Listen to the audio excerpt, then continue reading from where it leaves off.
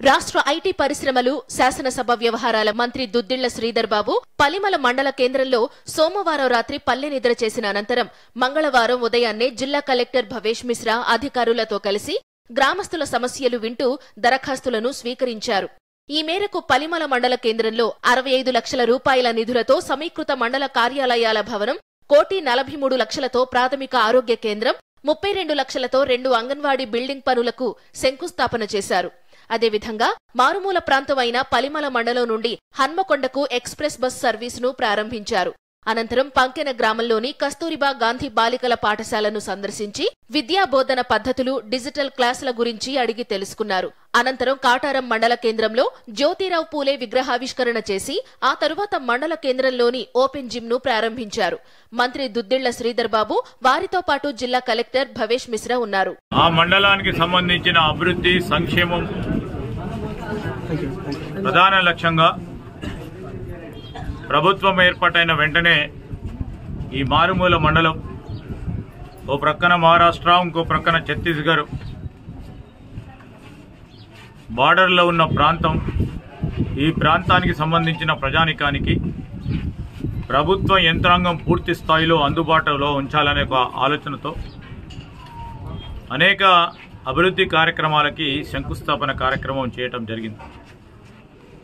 దాంట్లో భాగంగా ఒక ఇంటిగ్రేటెడ్ మోడర్న్ అధునాతనమైన మండల కాంప్లెక్స్ను నిర్మాణం చేయాలని ఆ నిర్మాణ కార్యక్రమానికి ఆ బిల్డింగ్కు శంకుస్థాపన కార్యక్రమం చేయటం జరిగింది.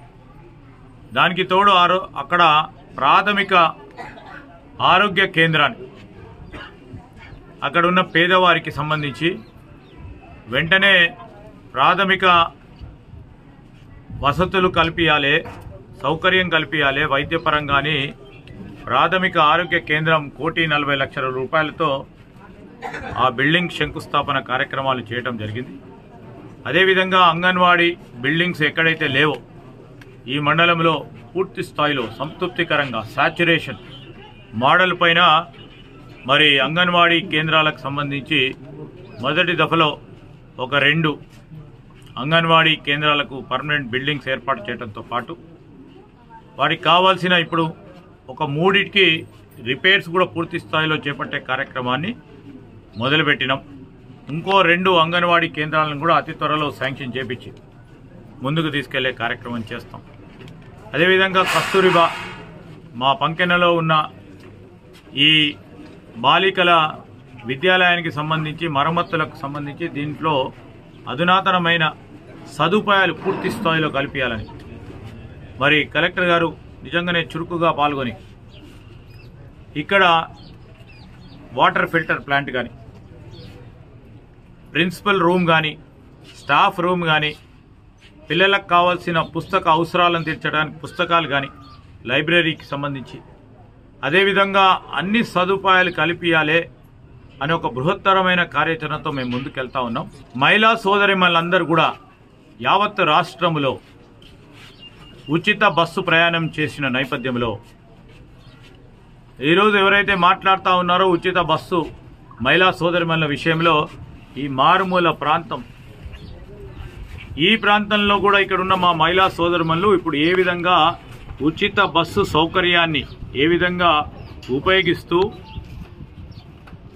వారి ముఖాల్లో ఎంత సంతోషం కనబడ్డదో ఈరోజు ప్రత్యక్షంగా ప్రజలందరూ చూసిండ్రు. పాత్రికేయ మిత్రులందరూ చూడటం జరిగింది. దానికి తోడు మేము మొదలుపెట్టిన రెండు ఉచిత బస్సు రవాణా సౌకర్యం మహిళలకు సంబంధించి కానీ రాజీవ్ ఆరోగ్యశ్రీ ఐదు లక్షల నుంచి పది లక్షల రూపాయలను పెంచడంతో పాటు రాబోయే రెండు మూడు రోజుల్లో మరి మా ప్రభుత్వం రెండు మరో గ్యారంటీలను ప్రజల్లో ముందు పెట్టి అమలు చేయబోతా ఉంది. ఈరోజు ఇది మా చిత్తశుద్ధి. ఇది మేము ప్రజలకు ఇచ్చిన వాగ్దానంలో మేము ముందు ఉండి నిలబడతామని చెప్పిన నేపథ్యంలో ముందుకెళ్తా ఉన్న తరుణంలో ఈరోజు ఓపిక లేదు కొంతమందికి. రాజకీయ పరంగా ఈరోజు ఏమైనా ఆరు గ్యారంటీలని అడుగుతా ఉన్నారు. మేము అడుగుతా ఉన్నాం వారిని. ఆరు గ్యారంటీలను మమ్మల్ని అడిగే ముందు మేము చెప్పిన ప్రతి మాట జనానికి సంబంధించి.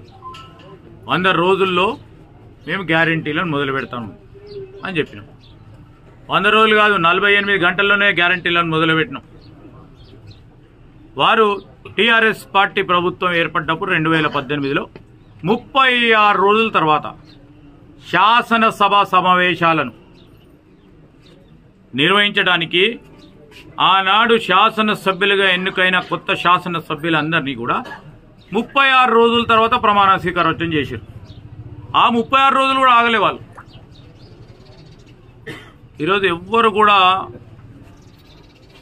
అదరొద్దు బెదరొద్దు. ఈ టీఆర్ఎస్ పార్టీకి సంబంధించి ప్రత్యేకంగా చేస్తూ ఉన్న వారి ఘోషణ పాపం ప్రభుత్వం పోయిందని. ఆ ఘోషను ఈరోజు మళ్ళా తిరిగి ప్రభుత్వం ఏ విధంగా తీసుకురావాలని ఆలోచన చేయాల్సింది మర్చిపోయి మేము పది రోజులు కాకముందే మా పైన పుస్తకాలు తీస్తూ గ్యారంటీల పరంగా మేనిఫెస్టోల పరంగా చేస్తూ ఉన్నదానికి ప్రజలు చూస్తూ ఉన్నారు. ఇప్పటికైనా ఈ ప్రభుత్వం ఈ ప్రభుత్వం నడిపియాలి కాంగ్రెస్ పార్టీ ప్రభుత్వం రావాలని ప్రజలు మార్పు కోరి ఈరోజు మా ప్రభుత్వం ఏర్పడ్డది దాన్నన్నా గౌరవించే కార్యక్రమం చేయాలని వారికి చెబుతూ ఈరోజు మేము మరొకసారి చెప్తా ఉన్నాం. ఆరు గ్యారంటీలతో పాటు మేనిఫెస్టోలో పెట్టిన అనేక అంశాలను. ఈరోజు ప్రభుత్వ ఖజానా ఖాళీ చేసిపోయిన ఆ ప్రభుత్వం. అయినా కానీ ఆర్థిక క్రమశిక్షణతో ఆర్థిక వ్యవస్థ నడిపించాలని ముఖ్యమంత్రి గారు ఉప ముఖ్యమంత్రి ఫినాన్స్ మినిస్టర్ గారు. మరి ప్రయత్నం చేపడుతున్న నేపథ్యంలో మరి మేము ప్రజలందరికీ మనవి చేస్తూ ఉన్నాం. ప్రభుత్వానికి రావాల్సిన రెవెన్యూని ఏ విధంగా ప్రజలకే చెందే విధంగా. ఇష్టరాజ్యంగా అడ్డగోలుగా ఈరోజు మేడిగడ్డపోయే అన్నారము సుందిల్లా బ్యారేజీలపై పది మందికి ఉపయోగపడని ఆలోచన చేయకుండా ఈరోజు మేము ఇచ్చిన వాగ్దానాలు ఏ పరంగా ఉపయోగ బా- బాగుపడే విధంగా ముందుకు తీసుకెళ్ళే ప్రయత్నం చేస్తామని మనం చేస్తాం.